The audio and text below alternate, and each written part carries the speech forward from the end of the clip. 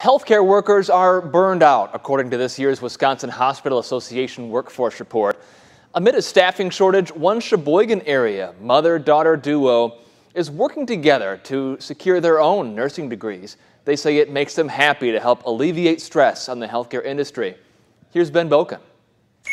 Right after she graduated high school, Jennifer Muckerheide pursued a career in nursing, but she decided to pivot to business after having kids. And in 2020, Muckerheide lost her job of 20 years. My husband's like, well, you know, he's like, do you want to find something else or do you maybe want to go back to school for nursing and finish that nursing degree? Now she's doing just that at Lakeshore Technical College, all while she works as a certified nursing assistant with Aurora in Sheboygan. By December, I was completely enrolled, had all my transcripts over, and was signed up for classes for the next semester. And Muckerheide's not alone. Her daughter Alivia is one semester ahead, also pursuing an associate's degree of nursing at LTC. I took to heart what she told me about the mistakes that she made in the past, so I think that I kind of followed her lead and then she's just catching up. The mother daughter duo is motivated by a statewide need. The latest survey completed by the Wisconsin Department of Workforce Development projects a registered nursing shortage ranging from 3,000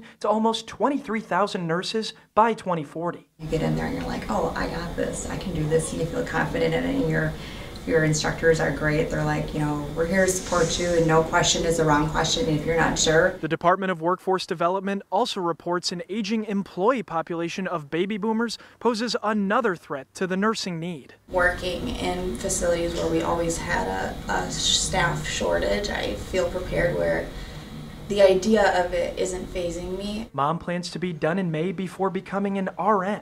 Alivia plans to finish up in December and pursue her bachelor's degree while working at HSHS St. Nicholas. Right now, I'm only working every other weekend because my focus is my school, you know. It's, it's like I want to be successful and complete it. In Cleveland, Ben Boken, NBC 26.